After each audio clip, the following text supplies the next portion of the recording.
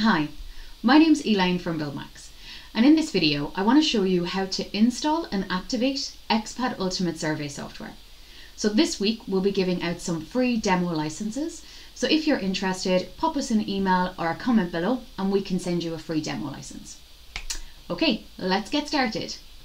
Once we've received your request for the demo license, we will send you an activation and installation email.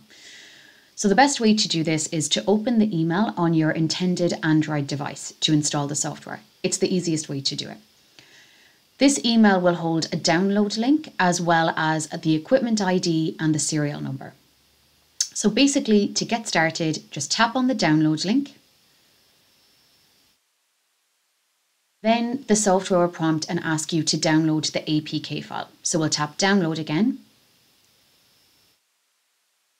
and once this has downloaded successfully, X-Pad will appear on screen and we tap install.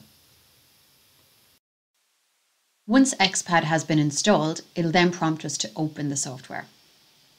So once we tap open, then we need to select the language. So the language we're going to select is English UK. And the reason we do this is because we have a specific number of exports that we use within the region, and they're all held within the UK language.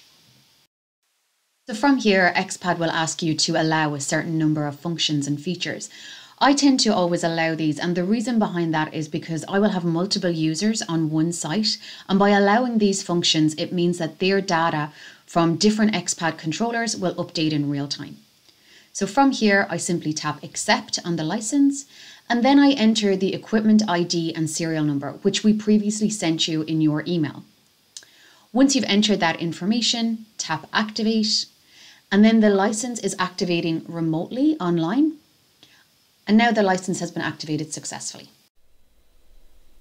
Thanks for watching.